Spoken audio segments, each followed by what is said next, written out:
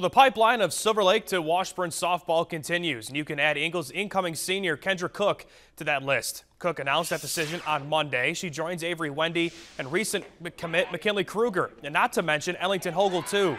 Cook was recently named a KSCA first team selection in 3A and is an all state selection as well.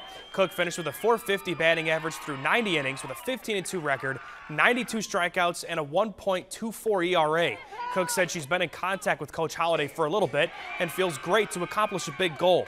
Cook said she had to learn fast, but it's only made her better, and she's happy to reunite with her former teammates. It's super exciting. I mean, that's like one of the huge things I'm looking forward to. Um, McKinley and Avery are both my best friends, and I never got to play with um, Ellie, but she is one of the Silver Lake um, alumni, so it's super cool that she's there playing with McKinley and Avery this year. So next year, it's just kind of like a, not a tradition, but it's kind of something kind of feels like that, so yeah.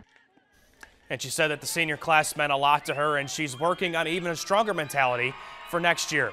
Now,